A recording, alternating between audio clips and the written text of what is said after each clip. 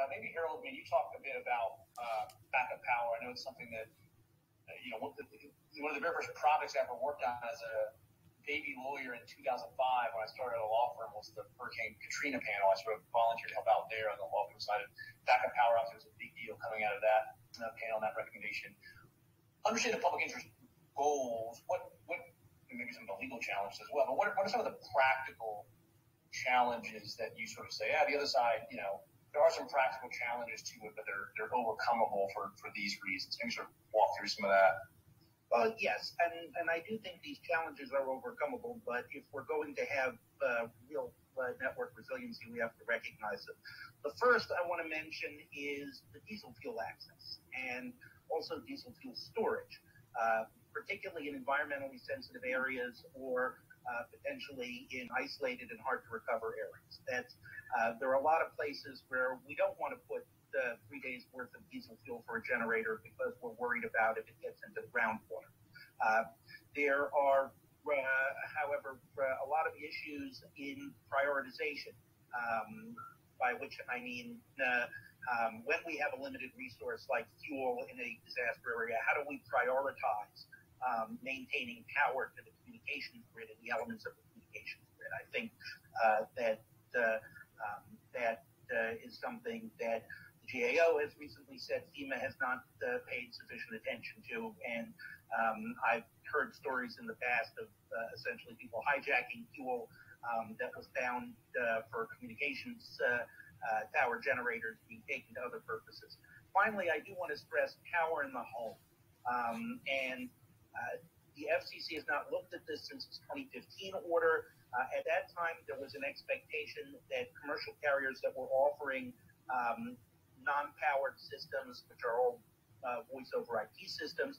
Uh, we're moving to systems that could use commercial batteries rather than the large um, and expensive uh, batteries that generally only provide two hours uh, worth of time.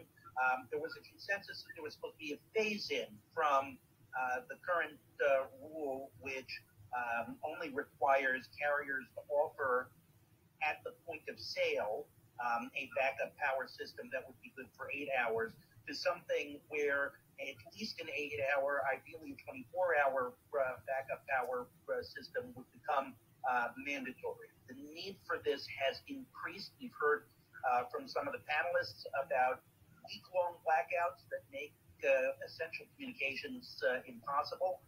and this is a, a very real problem. It's, it's going to be tough to solve, but it's one that we absolutely have to solve for the modern communications grid.